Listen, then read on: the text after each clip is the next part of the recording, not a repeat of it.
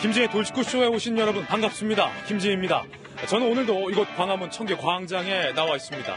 어제 조국 후보자의 기습적인 기자 간담회 무려 500분이 넘는 조국 쇼였다라는 평가가 나오고 있습니다. 그런데 어, 주요 의혹에 대한 해명은 전혀 이루어지지 않았다라는 비판이 나오고 있습니다.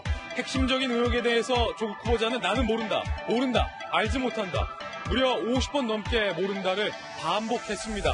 어, 애초에 조국 후보자가 국회 인준도 받지 않았는데 국회에서 민주당이 판을 깔아준 곳에서 기자회견을 하는 것이 옳은가라는 문제도 강하게 제기되고 있습니다. 잠시 후에 어제 있었던 기습 조국 청문회의 주요 쟁점들 상세하게 분석해 보겠습니다.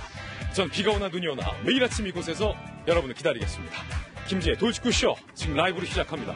잠깐만요.